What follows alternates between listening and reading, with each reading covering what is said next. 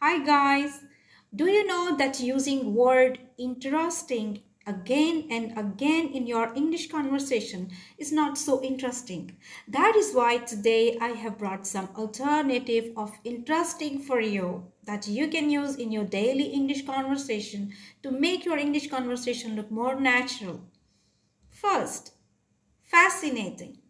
The painting exhibition was so fascinating. Next, intriguing. I find the National Geographic documentaries most intriguing. Next, compelling. The way the actors looked into the camera was so compelling that I could not take my eyes off her. Engaging. The novel was so engaging and I loved reading it. Captivating. The movie was so captivating and it got a lot of positive reviews.